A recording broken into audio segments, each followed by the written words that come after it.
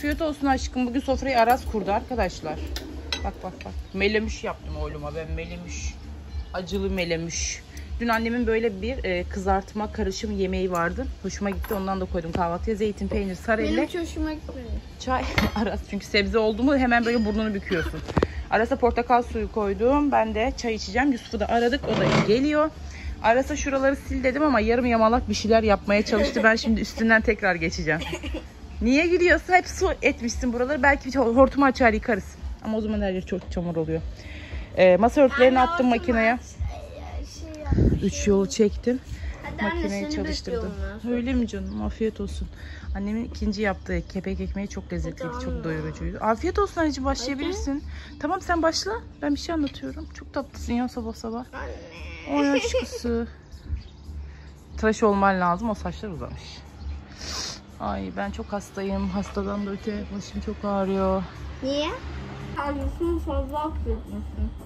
Annem o acık o anneannenin yaptığı acı sos o biraz biberi fazla kaçtı. Acı olmuş değil mi? Ama olsun çok faydalı. Sabah sabah. Oo, anne. Gözlerimden de belli.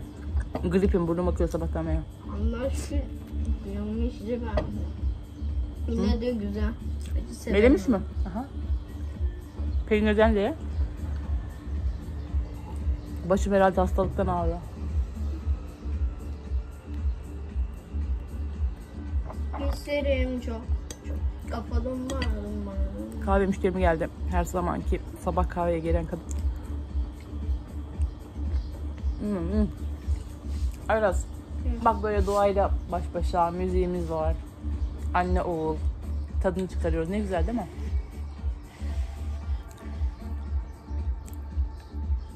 Son zamanlarda bayağı anne oğul aktiviteler yaptık. Dün Eylül'le de beraber yemek yedik. Ha? Bunu Güzel de. okula gitmedim arkadaşlar ben.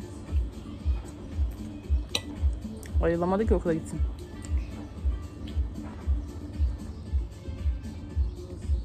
Ama bir daha böyle bir şey tekrarlanmayacak. Söz verdi bana. Okullar kapanana kadar.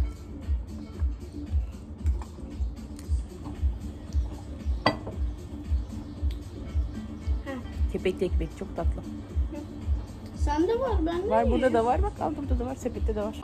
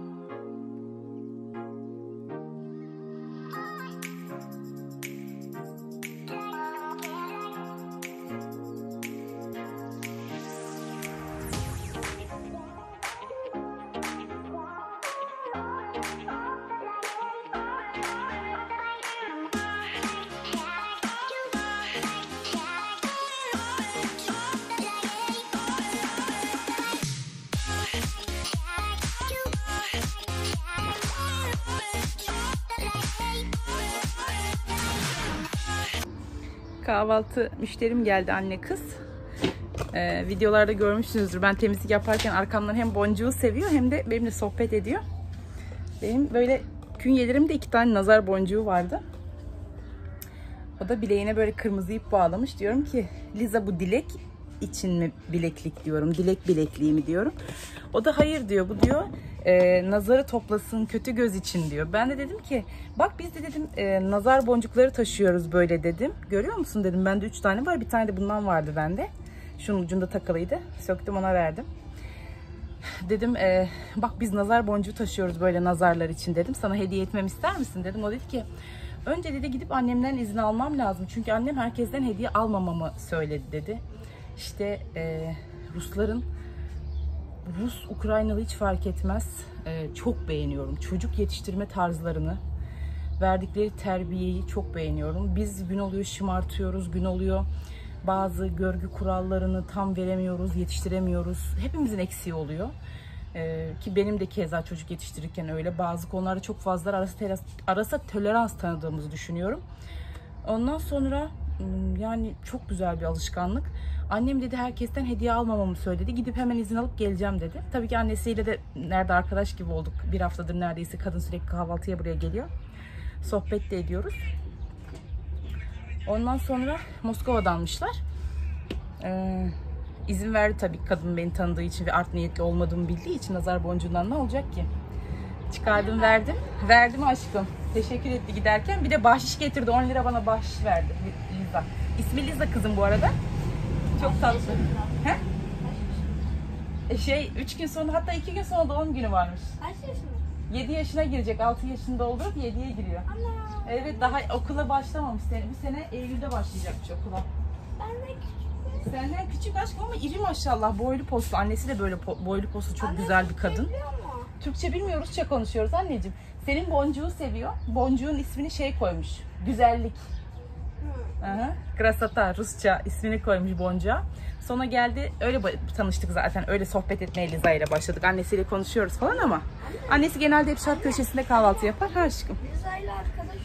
Liza ile ortak diliniz yok ki işte ben o yüzden sana diyorum ki Rusçayı öğren E, paşam. değil de anne değil de arada bir Ay. Tabii ki lazım, tabii ki lazım. Ay ay ay. Genelde böyle boncuğu severken tanıştık dedi ki ben onun de o sizin kediniz mi ben ona dedi ismi taktım dedi. Dedim evet dedim aslında dedim e, iki dükkanın kedisi dedim. Onun bir ismi var boncuk dedim. Sonra boncuk demeye başladı. Hem boncuğu seviyor hem de benimle sohbet ediyor. Dün de gel dedi ki benim dedi üç gün sonra doğum günüm var dedi. Ee, bilmiyoruz dedi belki buraya geliriz pastayla burada kutlarız belki otelde kutlayacağız dedi. Ben de tamam biz açık bunu annen daha iyi bilir dedim. Şunu çıkaralım mı? İki tane tişört giymiş sabah sabah üst üste. Hayır en azından alttakini çıkar. Şimdi bu birazcık satenimsi kum. Anne altında Bir şey hiçbir gösteriyorum, yok tamam. Bir şey gösteriyorum. Şu satenimsi bir kumaşı var bunun. Ve e, teri çekmiyor. Altındaki e, şey de altındaki tişört de pamuklu olduğu için teri çekiyor. Ama iki kat da böyle sıcak olur diye söylüyorum. Bak terlemeye başlamışsın bile. Neyse bebişlerim ben e, çamaşırları serdim. E, yerleri sildim. Bardaki bulaşıkları yıkadım. Bunlara kahvaltı, mini kahvaltı tabağı ve e, sahanda yumurta hazırladım. Bir de Türk kahvesi Senin içiyor. Çok sıcak annem. Hasta, hastayım ya belki ondan da olabilir. Şimdi kendime bolca su içiyorum sabahtan beri.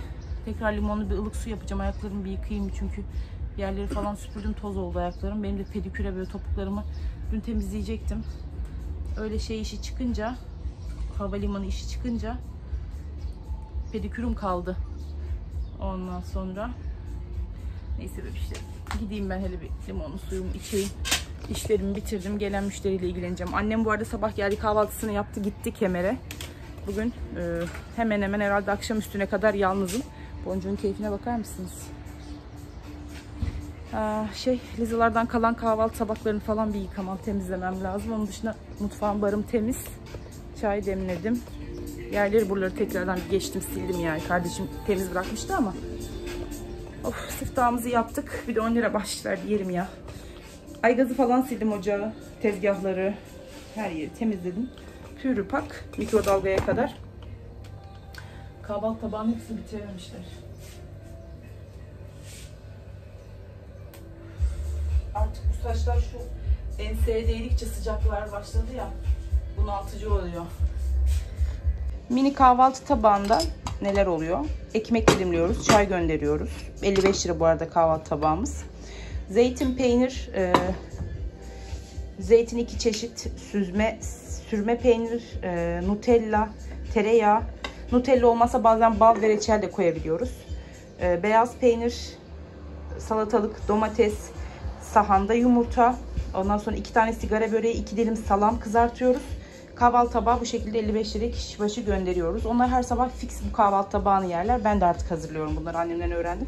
Bir de e, Liza sabah sahanda yumurta yiyormuş. Ona annesi her gün iki tane yumurta kırdırıyor. Bugün bitirememiş. Genelde bitirir yumurtasını. Tabii bu artık artıkları ben ne yapıyorum? Topluyorum kediciklerime. Burada sağda solda köpekler var. Onlara veriyorum. Yani yemekler ziyan olmuyor kızlar. Hiç endişe etmeyin. Şunları da Ah, tabii sigara kullanması çok daha iyi olur ama çoğu turist bayanda görüyorum ben sigara çok içiyorlar. Sigara sağlığa zararlıdır bu arada. İsmini geçirmişken onu uyarayım istiyorum. Bunlar barın malzemeleri. Bunları günlük hemen makineyi bekletmeden günlük derken hemen anlık anlık yıkıyorum, bekletmiyorum. Aynı böyle mesela sabah da yine bir Türk kahvesi müşterim vardı ya. Onun fincanını falan bekletmeden yıkadım. Bunları köpüklüyorum, yıkıyorum. Geri kalan çatal, tencere, tava, onun tabak her şeyi makineye atıyorum.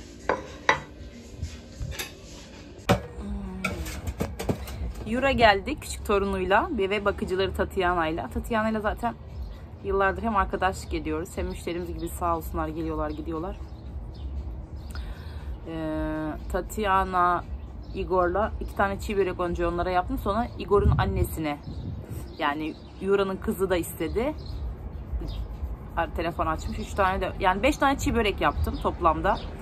Sonra Yura'ya kiremitte tavuk yaptım. Üzeri kaşarlı. Çok da güzel oldu. Çok gerçekten hem nefis görünüyordu hem tadı güzeldi. Çünkü ben tadına baktım. Kendime ayırdım. Kiremitte böyle yanına da makarna istedim. Midye makarna yaptım. Mantı makarna mı diyorlar artık her neyse. Şu saçlarımı sabah yıkadım ya çok formsuz görüyorum. Neden öyle oldu bilmiyorum. Kendi rüzgarında kurudu ya. Şu uçları böyle kabarık kabarık geliyor bana. Zaten bütün gün çalışırken bugün saçlarım topluydu. Şöyle bir açayım. Dün Miriban da diyor ki çok yakıştırdım diyor saçlarını sana diyor. Genelde hala yorum olarak alıyorum. Çok yakışmış saçların çok güzel diye. Şimdi ben neredeyim? Şark köşesindeyim. Hesabımı kitabımı yaptım. Ajandamı getirdim. Yusuf uğradı. Ondan sonra onunla bir hesap kitap yaptık bu zamana kadar ki e, ne kadar ciro çekmiş falan. Ondan sonra giderlerimiz, gelirlerimiz falan filan böyle e, Mayıs ayını bitirince Haziran'ın başlarında genelde her geçen ayı hesabını, kitabını, giderini, gelirini tutuyoruz, yapıyoruz zaten. Bunu şeyim var biliyorsunuz. Böyle bir alışkanlığım yıllardır var. İyi bir şey bence hesap kitap tutmak. Sonra oturdum birazcık moral olsun kendime diye makyaj yaptım. Ee, hala burnumu falan böyle hissedemiyorum. Sanki karıncalanıyor böyle içi karabiber sanki sürmüşler gibi. Annem daha gelmedi. Anneme dedim ki anneciğim git dinlen. Müşteri yok. Hava çok sıcak. Hiç kendini yorma. Kimse zaten yok. Gezen gelen giden yok. Bugün sadece müşteri olarak sabah bir kahve müşterisi vardı. İşte bir Liza ile annesinin kahvaltı tabaklarını hazırladım. Sonra yuralar geldi. İşte onlara kiremitte tavukla çiğ börek yaptım. Onun dışında yemek hiç çıkmadı mutfaktan. Ben bütün temizliğimi bitirdim. Her işimi yaptım. Barı da temizledim. Şark köşesine geçtim. Burası tam şimdi Güneştepe'de olduğu için şöyle burası gölgelik. Şöyle göstereyim size. Aras kuzu arkada uzanıyor. Şurada görüyorsunuzdur bacaklarını. Ya şurada ya şu yatakta bir yerdedir. Orası da serin oraya geçti. Vallahi yakında artık sıcaktan e, köşe bucak kaçacağız. Gene de olsun. Sıcak gelsin de yeter ki. Bu renk dün e, Mihriban'ın kendi dudağına uygulattığı tonlara yakın. O kalıcı ruj yaptırmış. Kalıcı makyaj ve çok güzel olmuş. Çok beğendim. E, hemen değişiklik olarak fark ediliyor. E, bakımlı kadınları çok seviyorum. Gerçekten çok hoşuma gidiyorlar. Her kadının kendine bakması gerekiyor bence. İster nasıl düşünürseniz düşünün. Bu benim kendimce fikrim. E, Mihriban'a da çok yakıştırdım. E, hem izleyicim hem arkadaşım. Öpüyorum seni buradan. İzlediğini biliyorum vloglarımı. E, aynı o tonajda baktım. Kendime yakıştırmaya çalıştım. Oldu bence. Kötü de durmadı. Genelde siz hep böyle kırmızı pembe tonlarda alıştınız ya beni görmeye. Tam bu renklerdeydi dudağının rengi. Kalıcı ruj yaptırmış ve çok hoştu. Çok hoşuma gitti. Azıcık kaşlarımı doldurdum. Eyeliner çektim ama çok ince var yok arası. Cildime çok fazla yoğun bir şeyler yapmadım. Çünkü zaten sıcak terliyoruz. Yüzümü yıkıyorum. Kaç kere şey alıyorum. Abdest alıyorum ediyorum. Of kolum Şuraya koydum. Şurası ısınmış güneşte. Güneş yavaş yavaş dönüyor. O yüzden şu tarafa gölgeye uzanacağım. Ama önce şu e, tırnaklarımı törpüleyeyim. Pedikürüme oturdum yaptım. Şöyle pedikür setimiz var burada. Krem. Ondan sonra kolonya mutlaka tabii ki malzemeleri tekrardan şey yapmak için. Ayaklarımı ıslattım suda. Şurada e, hazır yoklukta annem pediküre gitti. Ben de kendi kendime oturdum burada yaptım malzemelerimiz olduğu için. Sonra da kremledim. Güzel oldu. Törpüledim ben genelde kesmiyorum tırnaklarımı. Hep törpüleyerek küt yaparak kısaltırım. Ama ayağımızda kullandığımız törpü, tör- törpü farklı. O burada. Bu da elim için, elimiz için kullandığımız törpü. O gerçi ucu kırılmış da. Ne demek istiyorum? Bir şey e, bir konuyla ilgili bir şey sormak ve anlatmak istiyorum aslında size. Ee, Nigar'cığım son zamanlarda vloglarda çok kendini çekiyorsun, çok konuşuyorsun, sıkıcı olmaya başladı gibi bir video, şey bir yorum aldım. Ee, gerçekten öyle mi düşünüyorsunuz bilmiyorum ama ben tam tersi sanki sizinle böyle konuşup yüz yüze sohbetli bir şeyleri anlattığım zaman sanki daha güzel oluyormuş. Böyle kısalt şey, e, hızlandırıp müzikli koymak yerine açıkçası ben de izlerken başka vlogları, vloggerları öyle hoşuma gidiyor sohbetli bir iş yaparken anlatımı. Çok boş geliyor bana böyle bir sürekli müzik koymak. Daha önceleri çok kayardım. Artık daha az koymaya çalışıyorum. Yaptığım işi de gösteriyorum ama sohbet ederek bilmiyorum bu konuda biraz fikrinizi e, merak ettim açıkçası ama e, yine böyle bir kesim var ya beni izleyip de Nigar'cığım sen ne çekersen çek biz seve seve sen olduktan sonra izleriz diyenler.